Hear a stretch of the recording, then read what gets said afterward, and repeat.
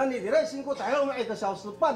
台东基辉部落族人全程用阿美族语向环保署审查委员表达对满地富游乐区开发计划案的不满，担心一旦开发，当地交通会因为观光人潮增多受到影响。而整段三分钟的发言没有翻译，委员们是有听没有懂，但会议还是持续进行。不好意思，我们在这个会议里头没有。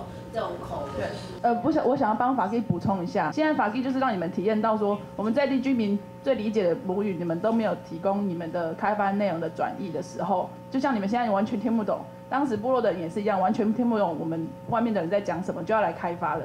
位在台东县成功镇的满地富游乐区开发计划，七号在环保署进行变更对照表第二次审查。这处开发规模大约十点四一公顷，靠近三仙台风景特定区。民国九十一年通过环评取得开发许可证，但经过了十三年迟迟未开发。而期间海岸法、原籍法接连在立法院三读通过。如今开发案为了要拓宽道路，满地富公司将部分土地无偿租借给东部海岸国。国家风景区进行织田路拓宽工程，其中含有国土保安用地以及水利用地，与现行地目不符，因此满地富公司向环保署提出开发内容变更对照表进行第二次审查会议。环团还有当地族人在会议上表达诉求，要求退回开发案。族人更痛批环保署和开发单位漠视原籍法。到底有没有重视地方的居民？将来他的呃开发的时候，他。隔壁邻近就是海域了，那是原住民基本的那个传统领域啊。我们聚会部落哈，它现在是自然保护区啊，连房子也不能盖。地，我们的地是建筑用地，为什么隔壁都可以盖呢？我们老百姓原住民为什么不能盖？五十几年就住铁皮，只能整建，你开了要又被罚。表面上、形式上说开整体开发面积减少，但是其实。这样的变更结果是对当地的环境是加重负荷的，怎么可以让他用变更内容对照表就可以通过？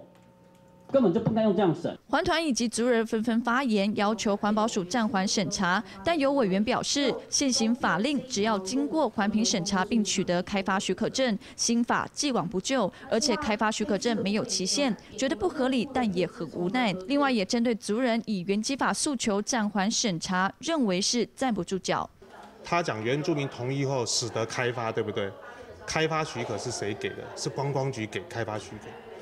所以我的意思是说，原民会的再次强调，原民会的意原住民的意见很重要，但是不是在环评会议上处理。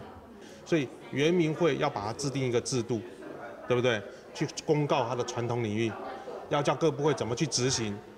谁给开发许可？就像我们环评说，环评没有通过，不得给予开发许可。开发单位下一次来的时候，针对保育地、水利地，好，它的面积跟功能不得有任何的减损。好，针对这一部分来做补充说明。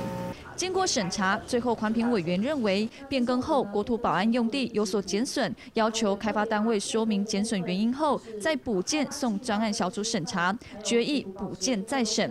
不过，环保团体认为，因为老旧环评的缺失，使得满地富游乐区开发计划只能审查开发案内已完工的织田路拓宽土地变更，无法针对开发量体、废水处理、污染对策、整体观光规划做审查，觉得不合理。认为十三年前的环评已经不符合现在的环境，应该要全盘检讨才是。记者穆拉斯大陆台北市采访报道。